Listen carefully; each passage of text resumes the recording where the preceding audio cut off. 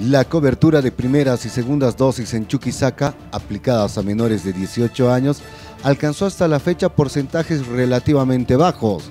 En el programa ampliado de inmunización esperan revertir los números en coordinación con las autoridades del área educativa en medio del retorno a las clases presenciales.